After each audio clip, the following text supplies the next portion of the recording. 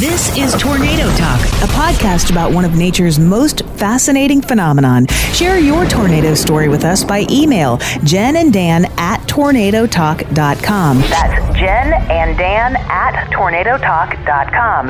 Now, meteorologists Jennifer Narramore and Dan Holliday. Tornado Talk is on. Tornadoes are rare in Utah. How rare? The state averages just two tornadoes each year with an F2 or stronger twister once every seven years. The reason that tornadoes don't happen that often in Utah is because the climate is dry and the terrain is mountainous. There's only been 136 of them since 1950. August 11th, 1999 was different. A day when there would not only be a tornado, but a significant one that would carve through the biggest city in Utah. Severe weather slams Salt Lake City. Former meteorologist in charge of the National Weather Service in Salt Lake City, Bill Alder. First, we thought it was just straight line damage, but then when we saw some of the pictures, we were watching uh, you know, mainly on in, in the in the television, so we could see all the damage. So we knew we had something more to deal with than we anticipated at the beginning. Previously, the communications commander for 911 and police dispatch, Cory Lyman. One of our network technicians came running in the door and goes, There's a tornado out there.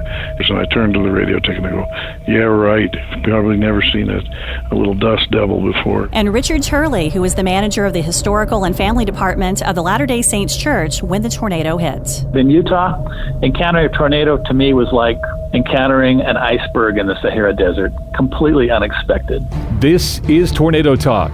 On August 11, 1999, a rare tornado tore through Salt Lake City, killing one and injuring 80 others. It was the most destructive tornado in Utah's history and made everyone that lives there aware that tornadoes can truly happen anywhere. Just a year after the tornado struck, Bill Alder retired from the National Weather Service. He reflects back on the unusual setup that created a damaging killer tornado in Salt Lake City in 1999. We did have a cold trough going, a, a, a cold upper trough going through the area that morning, but basically it was rather innocuous type thunderstorm day. So we expected some thunderstorms, but not not widespread or anything because the the ingredients weren't there. We have a, a valley and uh, lake and valley wind pattern, which we get uh, winds off the Great Salt Lake in the afternoon, and the south winds in the South Valley were still blowing. So this kind of created a, a, a convergence zone in the middle of the valley, and we had an old boundary at the same time. So the Oak, the Oquirrh Mountains are west of the uh, valley, and the thunderstorms started to develop over there about about about noon or so, or a little after noon, and they started to increase in intensity. And then by 12:35, there's sun distortion over the northwest part of the valley, with clouds topping up to 41,000 feet. And from then on, it continued to develop as it as it rotated around through the uh, around the Delta Center, which is in the western part of the valley, and became uh, you know a, a more of a circulation eventually getting to be an F2 category. Cory Lyman is now head of emergency management in Salt Lake City. When he was the communications commander for 911 and police dispatch the day the tornado struck, he first heard about it from a colleague down the hall at work. He was almost certain it was a joke. I was at the public safety building on the ninth floor. Um, talking to some radio technicians. Uh, the ninth floor was half the building was um, the office space for our technical people, and then half of it was an open roof area that you could walk out onto. And I was up talking to the radio technician, and uh, the door to the walkout part flew open, and one of our uh, network technicians came running in the door and goes, There's a tornado out there. And he ran over, he didn't go to the elevator, he went to the stairs and went on down the stairs. And I turned to the radio technician and go, Yeah, right. Probably never seen a, a little dust devil before or something. I just didn't even believe him. It was just that far out. anyway, so I finished what I was doing. I took the elevator down to the fifth floor where my office is. And as I walked down the hall, toward my office, I can see all these people spilling out of the little hallway and office out into the main hallway from my office, which faced to the north. And so I get up there and I look over the top of them, and we're just watching this tornado as it goes up over the top of the hill to the north of the building. I went, "Oh, dang! It was a tornado."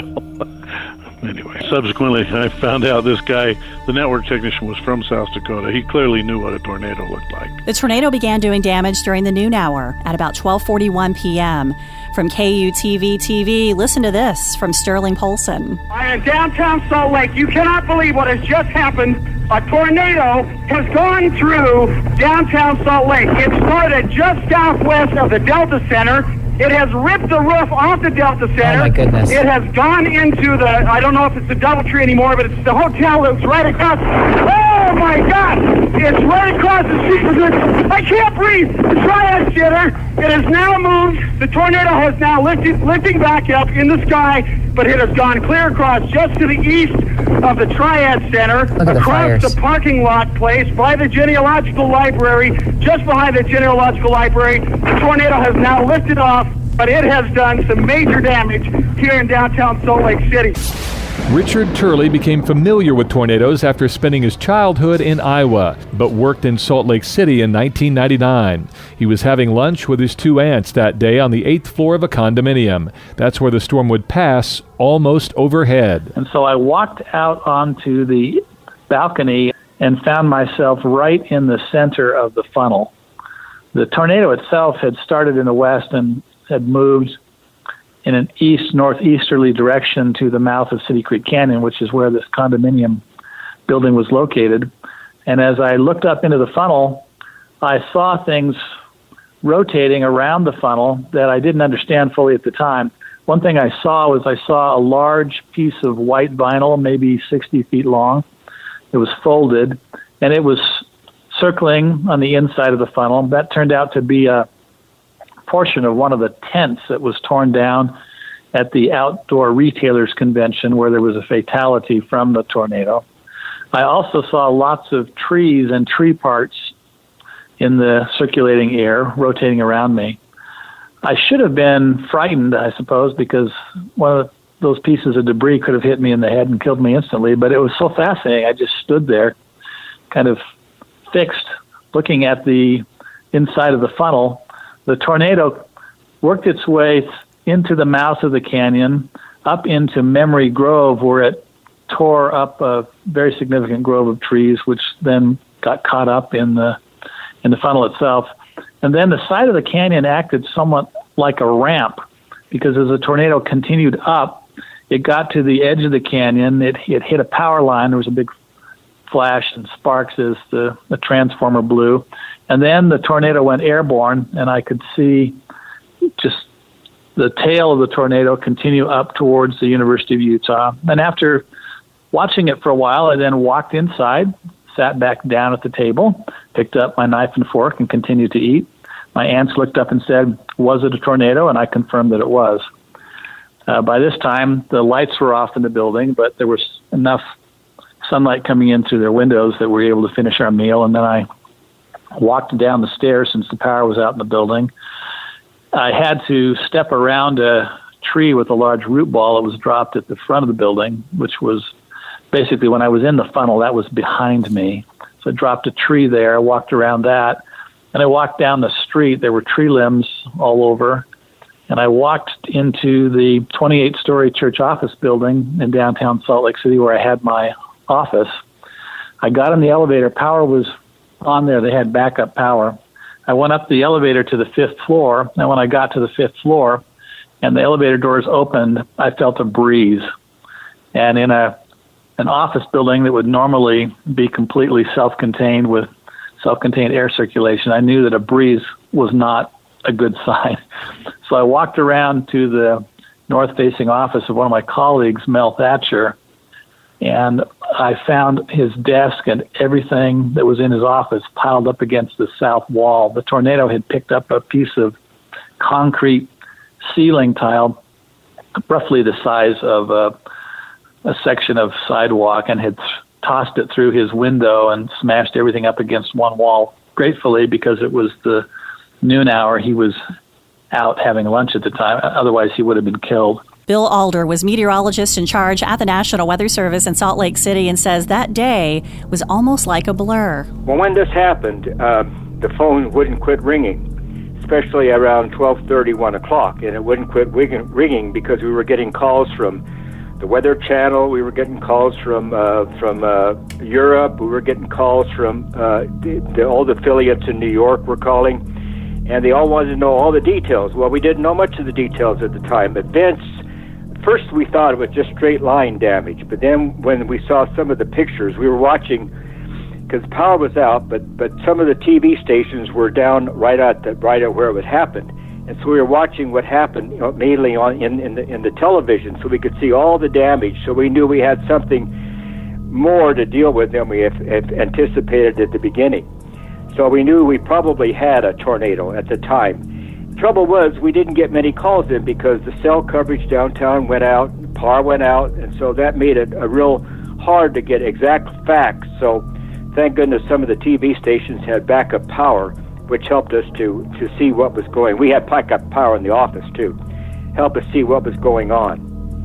And so this this continued all afternoon, and I didn't get out of the office that night until about ten o'clock.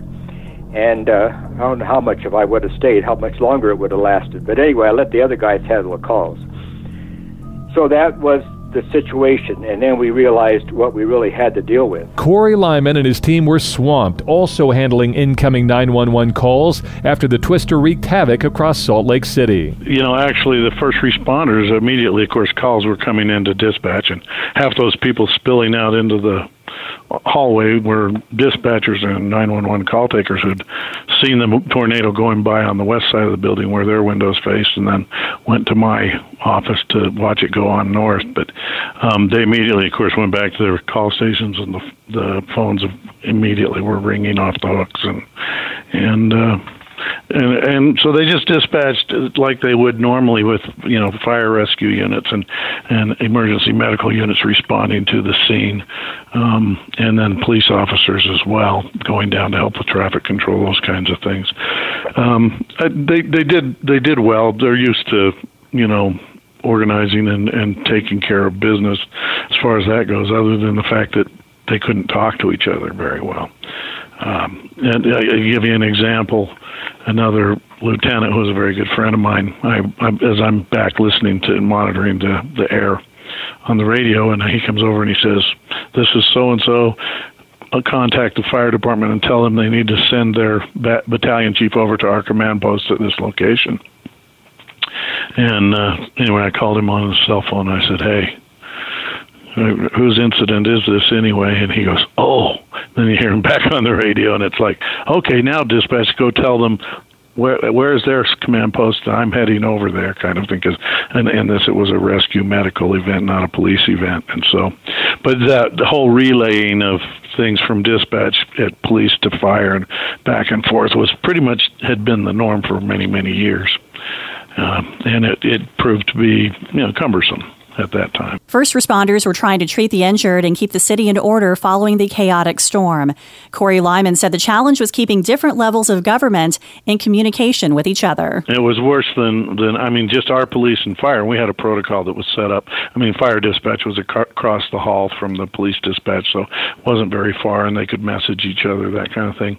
But the other agencies, for example, the sheriff's office was in a completely different band the state police were in a completely different band still, and they couldn't talk directly to their fire services.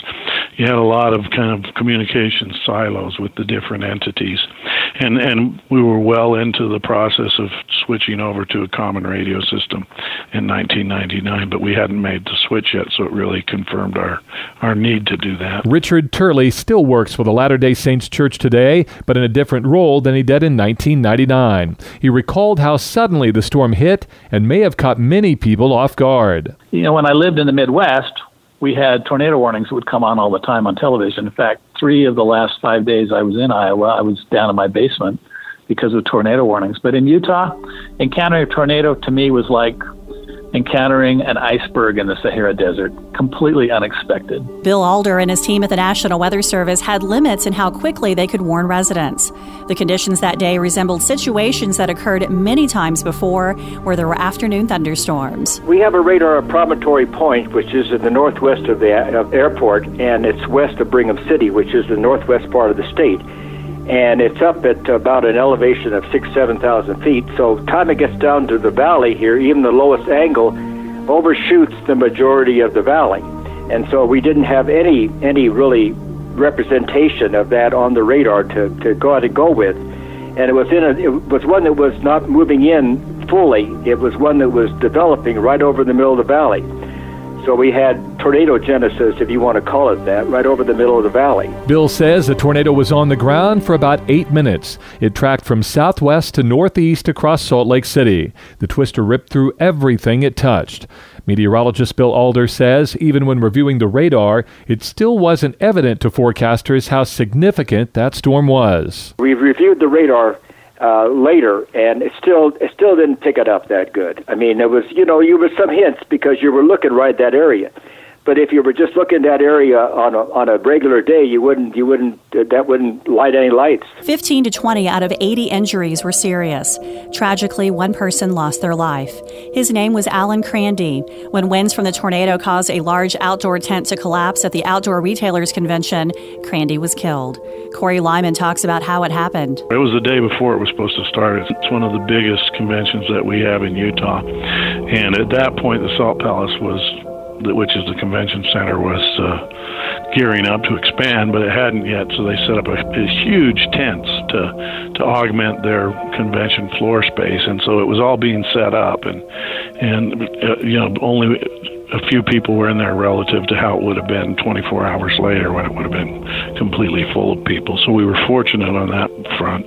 But you know, it, it kind of shows you the how unprepared as, as we, we were in Utah for this. I mean, I tell you that I, I went down to the office and all these people went immediately to the windows to watch the tornado, which is exactly what you don't want to do when there's a tornado because it's dangerous. A number of the injuries that were sustained were people that, you know, when the windows blew out, it, it got them. So that was, I mean, part of the, I mean, I think there were like 80 people injured. For Salt Lake City, a tornado causing F2 damage is significant for a state that may only have two tornadoes tornadoes in a year.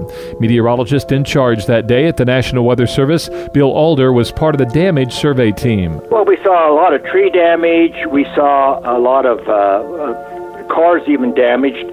And uh, we right at the one time we we had the outdoor retailers convention here, and they had tents just west of the Delta Delta Center set up and uh, the tenants were all ripped up, of course. And then, it, as it tracked that way up through the Grove, we saw some some wind windows blown out of the Wyndham Hotel. We saw they were building a new uh, the the uh, LDS were building a new temple there, and I saw the scaffolding was all over the ground. A lot of tree damage, car damage. 300 buildings or houses were damaged, and 34 homes were left uninhabitable. 500 trees, is our best estimation, were destroyed. And another 300 trees significantly damaged.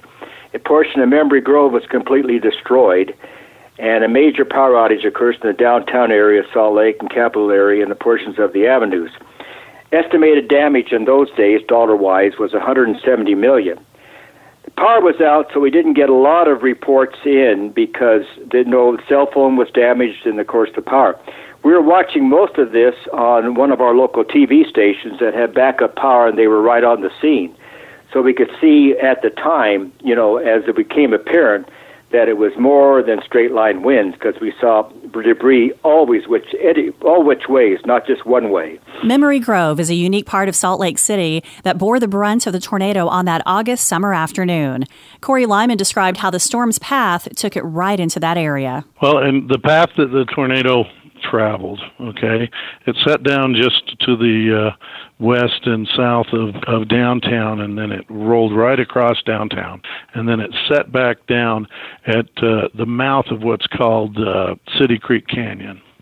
And the and the very mouth of the canyon is a park called Memory Grove, and it's got you know war memorials, and uh, it's a really nice little park, and it had uh, tons of trees. I think we lost four or five hundred trees that day, and so it went right up Memory Grove and the Capitol. If you come up the sides of the canyon to the top edge of it, the Capitol is on the west side of Memory Grove, and so it tore up a bunch of the trees and just totally made it look like something we didn't recognize, and then continued on up City Creek Canyon, and then uh, actually up over what we call City Creek Peak. I mean, it's just if you if you envision it, it's a, it's a fairly small canyon. Probably you could call it a ravine if you wanted, with a, a creek running down the middle of it. Lots of trees, lots of the benches and walkways, and um, some you know museum type things. It's just a really nice park. There have only been two lives claimed by tornadoes in Utah the one that occurred with this storm, and a young girl killed on July 6, 1884. Since 1950, 112 people have been injured by twisters in the state, and 80 of those all occurred on one day, August 11, 1999. How long before another killer tornado strikes Utah? Odds are it won't happen soon, but then again, the odds could be wrong. Richard Turley says that day changed the way residents react to severe weather. Residents of Salt Lake City today don't think of tornadoes as something that couldn't happen here because we had that one, and then subsequently there have been news reports of others. I was building a new home in the southwest part of the Salt Lake Valley and went out one day to check on the construction. I was standing talking to my neighbors, and I looked up at the sky and saw the kind of color I got used to in Iowa when tornadoes were were likely to happen. And I looked up and saw some rotation, and I pointed it out to my neighbors and I said, "That looks like a tornado." And sure enough, I got home and listened to the news reports, and a funnel touched down east of where we were. So tornadoes do happen in in Utah including the Salt Lake Valley. Next on Tornado Talk, he's a meteorologist, structural and forensic engineer, and has conducted thousands of storm damage surveys. His research is uncovering unknowns, helping us learn more and more about tornadoes. Tim Marshall on episode 17 of Tornado Talk. This has been Tornado Talk. Take a moment to follow us on Facebook, Twitter, Instagram, and YouTube. Just search for Tornado Talk. Tornado Talk is free to you, but not free to produce. If you love what you hear, please support the show by becoming a member of Team Tornado Talk. It helps keep us going. Your monthly membership starting at $5 a month can earn you cool rewards like a Tornado Talk t shirt, cap, koozies, and more. Plus, you'll always find free access to our past episodes. Just click the Patreon button online at tornadotalk.com.